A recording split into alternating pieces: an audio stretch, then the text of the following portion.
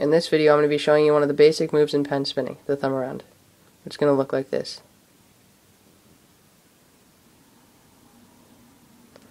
To get started you're going to hold the pen between your thumb, index, and middle finger.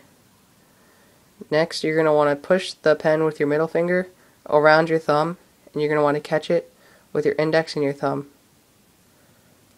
Now it's a pretty hard trick to learn for the first time, so don't get mad if you don't get it at first. It just takes a lot of practice.